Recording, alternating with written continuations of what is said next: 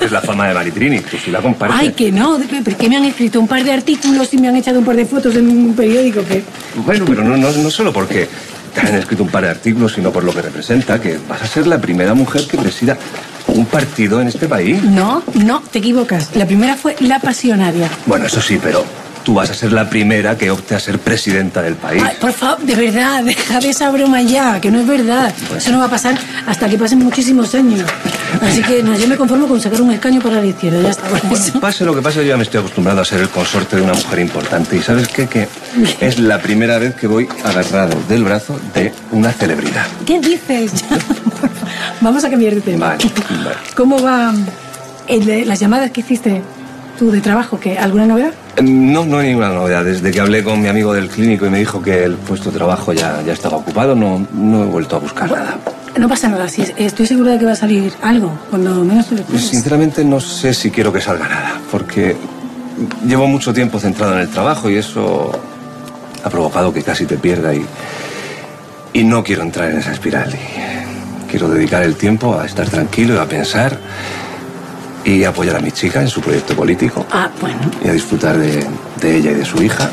Y esos son mis planes. pues deja que te diga que, que me encanta ese plan. Así. Sí.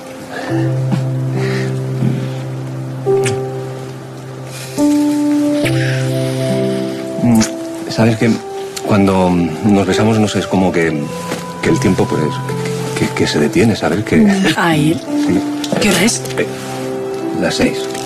Las No, seis. no, que no- lo siento, me tengo que no, que no llego a la entrevista, Rubén. Perdona, per- per- perdona, Cristina, No, porque no, me, no- que no me he dado cuenta, por favor. Por eso te dije que no era una buena idea ir a comer con tu novio. ¿Mm?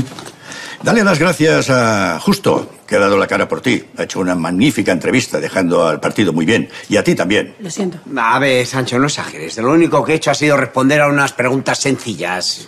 Bueno, yo me alegro de que hayas retomado tu relación. Y supongo que ahora en este momento es lo primero para ti. Pero tendrías que replantearte. No, Sancho, yo no tengo que replantearme nada. Mi vida personal no tiene nada que ver con mi compromiso con el partido. ¿Estamos? Bien, eso espero.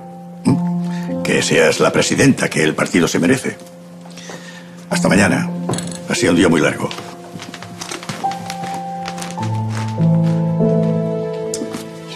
Ver, a ver, que está disgustado, pero se le pasará. No sé, un despiste lo tiene cualquiera, no es tan grave. Ya, pero yo debería haber estado aquí. Y no puedo darle motivos para que me monte las que me monta. Bueno, tranquila, venga, vamos a trabajar, anda.